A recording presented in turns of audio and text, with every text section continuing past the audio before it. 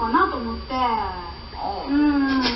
翔太郎君はもうすでに先生とお母さんには携帯電話連絡取って横丁に集合って声をかけてるのええ今日まで話してんの？そう。これかなんなごめんなさい。いやまあまあ謝ることないよいやでも君の言うてることよく分かる俺は協力するいやいやいや反対ですねいや僕も反対ですそんなもん。この問題いいな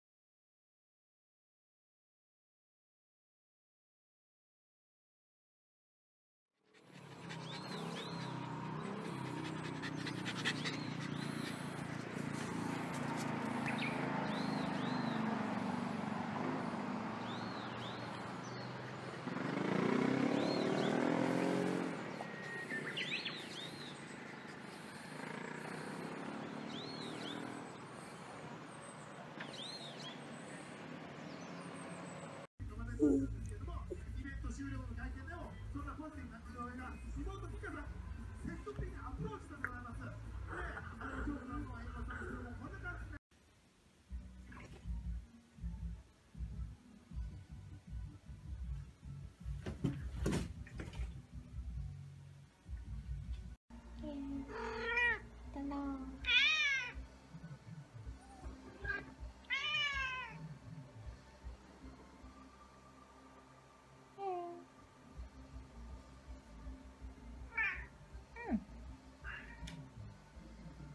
おいで。おいで。